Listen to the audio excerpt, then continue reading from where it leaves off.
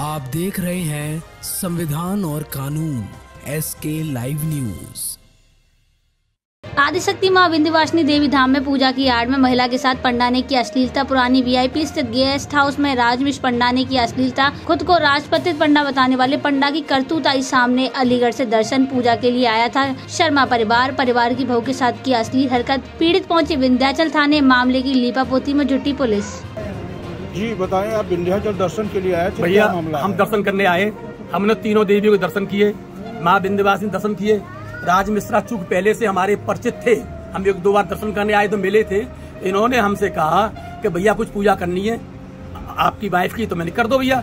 तो इन्होंने पूजा कराई बोले जब हल्ला हो रहा है तो कमरे में बैठा लूँ मैंने बैठा लो। दो मिनट में वाइफ की पूजा उन्होंने चौक किया हुआ छोड़ दी। तो बोले पुत्र वधु करा दूँ? तो मैंने नहीं करा दो। तो इन्होंने कुंदी बंद कर ली। तो मैंने कुंदी क्यों बंद की? इतनी देर में उन्होंने इसके जो है जो जगह नहीं छूनी चाहिए वहाँ हाथ डाल दिया। बहू रोने लगी। अब वो माफ़ी मांगने लगे हमसे गलती होगी मैंने गलती नहीं होगी भैया। तुम्हारी इतनी हिम्मत होगी योगी का राज है। महिलाओं की सुरक्षा कर रहे हैं सरकार आप चल रही है और ऐसा थोड़ी होगा। माफ़ कर दो माफ़ नहीं करूँगा भैया। मेरी बहुत साथ है बताइए इससे वो क्या होगी दुष्टता? आपका शुभ नाम क्या? राकेश शर्मा सनोप स्वर्गीय Shri Sugriv Sharma M I G ग्यारह ADA colony Ramghat road Aligarh.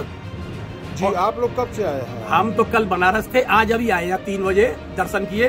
तो चार बजे की घटना है हम चार बजे यहाँ दर्शन करके हमारी ट्रेन है रात को यहाँ पे इससे मिर्जापुर से। तो इस संबंध में आपने जानकारी किसी को दिया हमने एक सौ बारह में जानकारी दे दी है और अपने रिलेशन में सबको जानकारी दे दी है। हम तो और आपको दे रहे हैं जी? ये आपकी बहू जो है इनका क्या नाम है? ये रूबी शर्मा रूबी शर्मा पत्नी आदेश शर्मा आदेश शर्मा मेरा बेटा आदेश शर्मा सोनो ऑफ़ राकेश शर्मा। हम चार लोग आए थे। मतलब आप लोग आपके बहू के साथ अभद्रता अभद्रता और जो जो चीज़ें नहीं छूनी चाहिए टच नहीं करनी चाहिए वो टच की है कहने किया? शर्मा रही है किसने किया? ये राज मिश्रा राज बताते हैं अपने को। वो ये गेस्ट हाउस है उनका। उसी गेस्ट हाउस की घटना है।